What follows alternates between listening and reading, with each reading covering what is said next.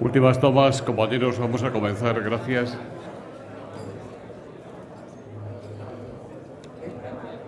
Excelentísimas e ilustrísimas autoridades, señoras y señores,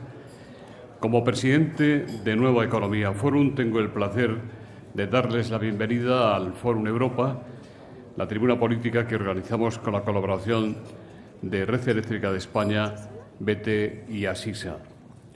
Hoy tenemos el placer de recibir de nuevo como presentador del ponente de esta jornada al presidente de Ciudadanos, don Albert Rivera, que va a presentar a don Ignacio Aguado, portavoz del Grupo Parlamentario de Ciudadanos en la Asamblea de Madrid. Querido Albert, la tribuna es suya.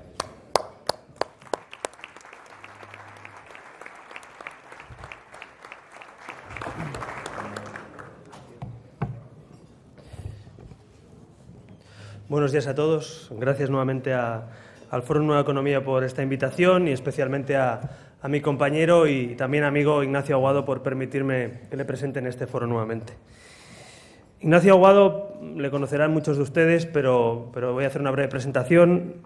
Es una persona extremadamente joven, que lo diga yo, pues tiene todavía más mérito, porque Ignacio Aguado, a pesar del trabajo que lleva realizando en la Asamblea de Madrid, a pesar de su experiencia laboral, tiene tan solo 34 años pero es licenciado en Derecho,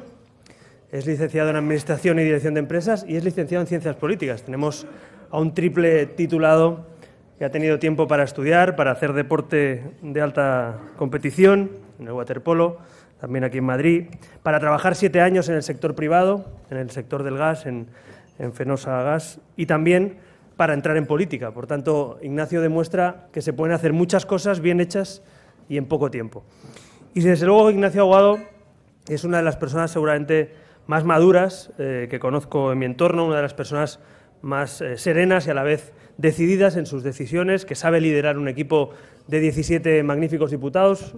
No me equivoco si digo que es uno de los equipos mejores que tiene Ciudadanos a nivel nacional en la Asamblea de Madrid, un equipo de buenos profesionales, todos ellos con experiencia profesional fuera de la política, que decidieron hace tan solo tres años implicarse en unas listas electorales y entrar en la Asamblea de qué manera de tal manera que son hoy decisivos absolutamente para cada votación, para los presupuestos de la Asamblea, para la investidura, para controlar al Gobierno, para investigar al Gobierno o para ponerle un cortafuegos anticorrupción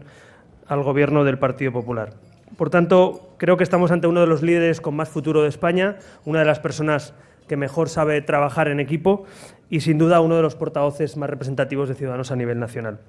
Pero creo que Ignacio y su equipo tienen un reto por delante todavía más amplio, todavía más más eh, importante del que han realizado hasta ahora. Si bien fue un éxito entrar en la Asamblea de Madrid de cero escaños a 17 escaños de golpe, cosa que no había logrado nunca nadie, con una sola marca, por cierto, no con 24, o sea, con un partido político, no con no sé cuántas confluencias, ni círculos, ni, ni cuadrados, sino con un partido político y un proyecto, creo que hoy tienen un reto todavía mayor, que es ser una alternativa al partido que está en un fin de ciclo. El Partido Popular está gobernando hace decenas de años en la Comunidad de Madrid, un partido que se descompone, a mi juicio, por la corrupción que ha tenido en tantísimos años de mayoría absoluta, que ha puesto un cortafuegos ciudadanos, un pacto anticorrupción para que vayan saliendo de la política o dimitiendo aquellos que van cayendo en procesos de corrupción, pero creo que nuestro reto es ofrecerle a los madrileños, Ignacio, una alternativa centrista, liberal, de progreso social y económico, limpia de corrupción, y que aglutine a los madrileños, no que les divida en bandos, no que se crispe la vida política madrileña, sino que se aglutine en torno al centro político una propuesta para la mayoría de madrileños, una propuesta liberal y por tanto próspera económicamente, eh, que apueste por la creación de empleo y por la llegada de empresas y talento a Madrid, que no suba los impuestos, sino que los baje y ponga impuestos moderados para las clases medias y trabajadoras y que ofrezca con esa recuperación económica y ese, ese colchón económico, ofrezca un estado de bienestar por un lado, eh, eficiente y por el otro lado, suficiente. Así que, en ese sentido, nuestro reto, le reconozco que las siguientes elecciones ya no es eh, estar en la Asamblea de Madrid, nuestro reto es gobernar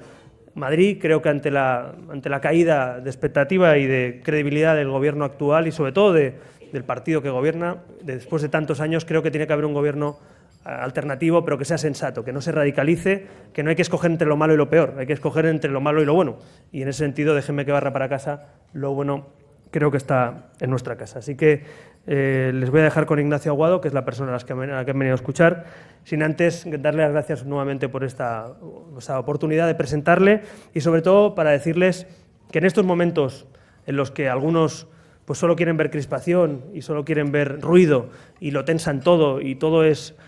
todo se acaba al día siguiente, yo les debo decir que soy optimista con nuestro país. Si me dejan que les dé este mensaje, creo que este es un gran país que tiene grandes mimbres en la economía, en la empresa, en los trabajadores y la política tiene que volver a estar a la altura de nuestro país, de la sociedad civil española. Así que vamos a trabajar eh, de manera sosegada, de manera tranquila, pero de manera contundente también a nivel político y a nivel nacional, para que no solo haya un proyecto en la Comunidad de Madrid, como ya empieza a verlo y empiezan a detectarlo muchos madrileños, ahí están las encuestas, sino también para que haya un proyecto nacional que defienda una sociedad, una clase media trabajadora fuerte, que defienda unos valores civiles y un país diverso pero unido, que nadie rompa, sino todo lo contrario, que reforcemos en los próximos años, y también un país que regenere la vida pública para que los españoles vuelvan a confiar en nuestras instituciones. Yo estoy, estoy convencido que trabajando, trabajando y trabajando duro podemos lograr eh, volver a levantar este país. Eso no se hace, insisto, con crispación, ni echándole la culpa a los demás, ni buscando chivos expiatorios. Eso se hace dedicándose con pasión a la vida pública, que tiene que volver a ser algo noble y que desde luego yo estoy orgulloso de representar a millones de españoles. Así que si me dejan que les deje este mensaje positivo, optimista, eh, antes de darle la palabra a Ignacio Aguado, porque creo que en un momento como este es importante también serenidad, tranquilidad, calma, capacidad de llegar a acuerdos y decirle a los españoles que la política no va a ser un problema, que la política tiene que volver a ser parte de la solución de este país. Muchas gracias.